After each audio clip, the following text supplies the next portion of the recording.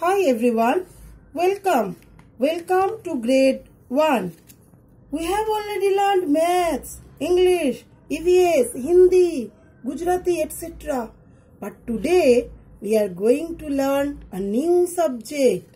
Wait, બોલો I am showing you a picture.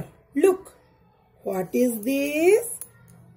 This is a machine. Do you know what is the name of this machine? Guess, guess.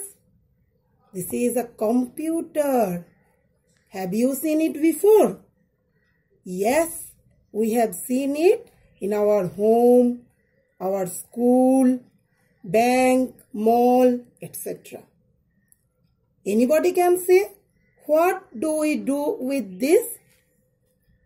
Your mother, father can work, you can play games, draw pictures, etc. Now understand which subject we are going to learn today? Computer. And what is the name of the topic?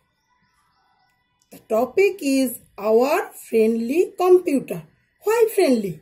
Because it is just like our friend. We can do our many hard work easily with the help of the computer. We will learn more about computer in our next class. Now I am giving you a homework